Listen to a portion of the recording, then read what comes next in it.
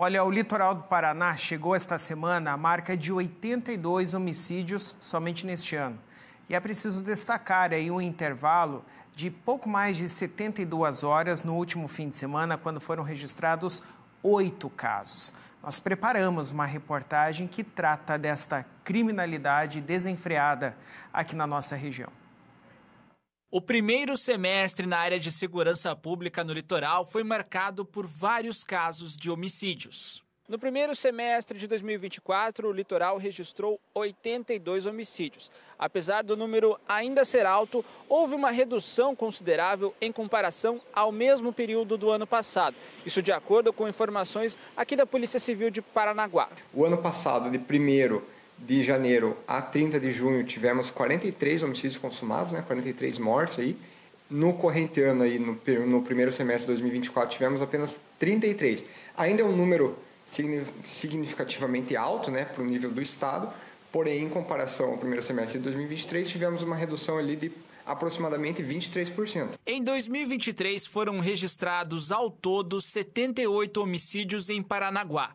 10 em Matinhos, 10 em Pontal do Paraná, 15 em Guaratuba, 3 em Antonina, 1 em Guaraqueçaba e 3 em Morretes, totalizando 120 casos de homicídios. Neste primeiro semestre de 2024, Paranaguá até o momento registrou 40 homicídios, 9 em Matinhos, 15 em Pontal do Paraná, 9 em Guaratuba, 7 em Antonina, 1 em Guaraqueçaba e 1 em Morretes, totalizando 82 homicídios no primeiro semestre de 2024. De acordo com o delegado, a principal motivação da maioria dos casos no litoral envolve o tráfico de drogas. A principal ali, né, quase que, digamos assim, generalizando, é o tráfico de drogas.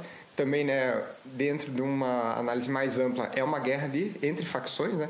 Então temos tantos motivos ali relacionados à disputa de território por venda, também uma disputa por controle de bairros ali, né, entre as facções criminosas que atuam em Paranaguá, como também temos desavenças entre traficantes do mesmo, do mesmo grupo criminoso e também entre traficantes e usuários ou também entre usuários e usuários, né? Então, única coisa que não sai dessas motivações é a droga e o tráfico, né? Destas ocorrências, apenas nove não estão ligadas ao tráfico de drogas duas tentativas de feminicídios e sete desavenças que viraram ocorrências policiais.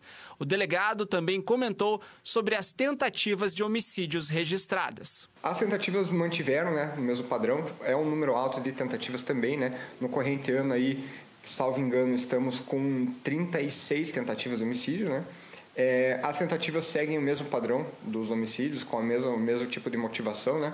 aí por circunstâncias alheias à vontade do autor, as vítimas não vieram a óbito, né? Esse número aí, em que pese relativamente alto, também apresentou uma, uma significativa redução comparada aos dados do ano passado, né? o que é uma situação bem positiva para o município. Esses números positivos são reflexos das forças de segurança no litoral, que atuam em conjunto para combater a violência e cada vez mais diminuir as estatísticas. É, não é segredo para ninguém que esses homicídios todos, aí, ou a grande maioria deles, a, ou a maioria, melhor dizendo, deles, tem envolvimento com o tráfico de drogas. É sabido que aqui em Paranaguá, região do litoral como um todo, há aí uma grande disputa entre facções criminosas que querem dominar o mercado de tráfico internacional, inclusive por conta aqui do porto de Paranaguá.